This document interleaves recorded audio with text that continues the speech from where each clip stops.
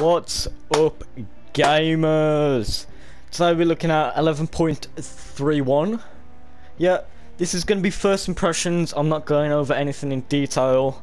Let's just see what's in. And let's start with Battle Royale. I've heard there's actually more in Battle Royale this update. I am not so sure. I've seen things like Zone Wars and Star Wars cosmetics flying around.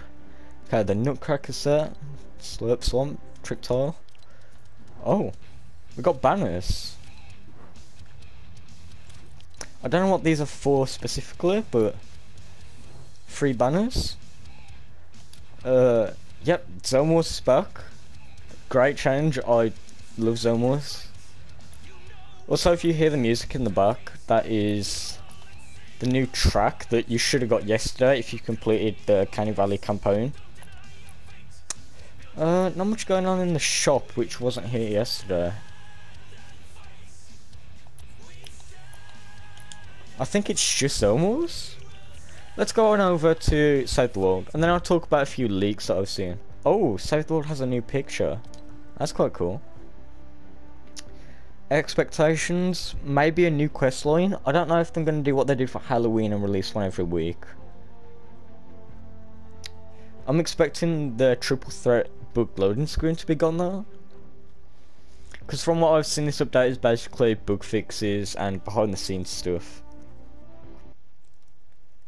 We're going in.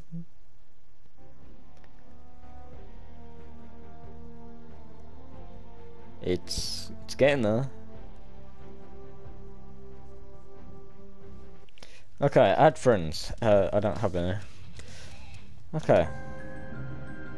Frostnite, Dungeons, Holly Jolly Ransom. Looks like everything is pretty much the same.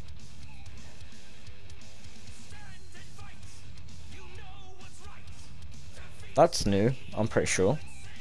Place 100 structures in Frostnite. I wonder if they've finally fixed this. This used to be a bug, craft 50 rare or higher traps in Frostnite, only available in Frostnite. This didn't work before, I wonder if it's fixed. No weapons on the wall, and there they are. No skins this update, sadly. Uh, Shop is changing tonight. I have no clue what's coming.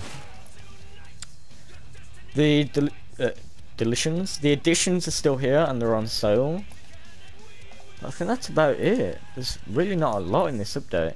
It's mostly battle royale, and let's just get out of here for a second to talk about a few leaks. Let me just open some leaks up. I want to talk about a few things.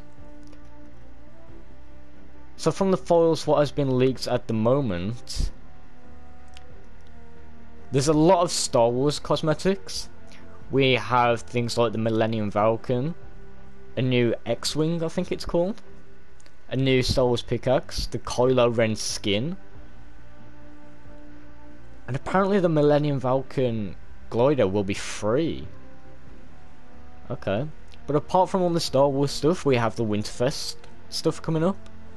By the way, my source is Hypex. You should go and follow him off Twitter.